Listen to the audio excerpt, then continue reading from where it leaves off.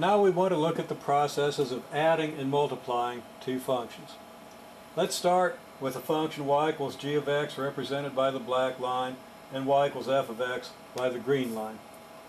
If we want to add these functions, that means at every value, uh, uh, every point on the x-axis, we add whatever the uh, y value is for the g of x function to the y value of the f of x function, or vice versa. Doesn't matter in which order we add these, obviously. So let's say x1 is a point here. Then f of x1 is going to be represented by the length of this arrow, and uh, g of x1 is going to be represented by the length of this arrow, so that when we add the two, we'll add the g of x arrow on top of the f of x arrow here. We'll just take this arrow and shift it up here, and we'll get the total of f of x plus g of x. We do the same thing at this point, adding the uh, f of x value to the g of x value by moving the arrow up here, and at every other point. Now, when we get uh, here, the f of x and g of x values appear to be the same, so we just add an arrow of the same length. We really have two arrows, one on top of the other here. And when we get over here, we actually end up adding the g of x on top of the f of x. We're going to add the lower one on top of the higher one, just to keep track of how the graphs go.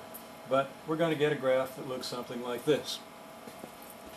Now, when we multiply two graphs, or two functions by their graphs, uh,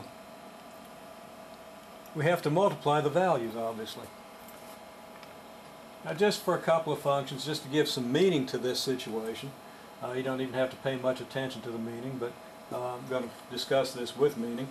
If uh, v0x is the velocity of the ball coming off of the sloped ramp of length L with one end raised to height h, uh, then you recall maybe the function v0x equals v0 times the square root of L squared minus h squared over L. The v0 function is how fast the ramp or the, the uh, ball is moving. And uh, what we're going to do is we're going to represent this function as a product of the v0 function and a square root of L squared minus h squared over L function. Okay, when we begin elevating the ramp, the velocity of the ball increases with elevation fairly quickly. As we get up to the higher and higher elevations, closer and closer to 90 degrees, the ball, uh, the, the speed of the ball kind of levels off like this. Because the closer we are to vertical, the closer we get to the uh, straight drop velocity.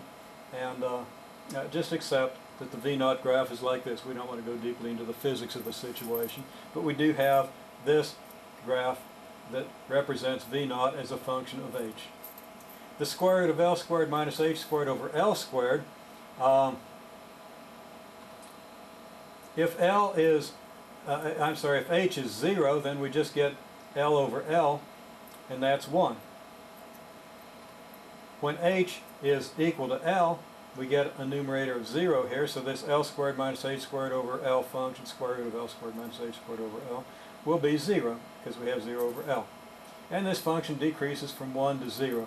Uh, the graph doesn't really look exactly the way I drew it. It stays pretty horizontal here for a while and then really drops off fairly rapidly, becoming almost vertical as we approach this point. Matter of fact, the limiting slope here will be infinite as we approach this point.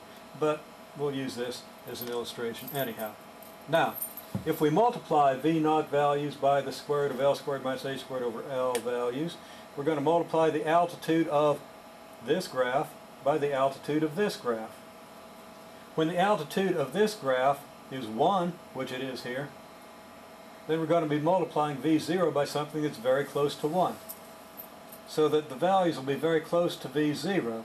Now, the values on this graph are a little bit less than 1, and they get less and less, so that we're going to fall a little bit below the V0 graph, and then more and more so.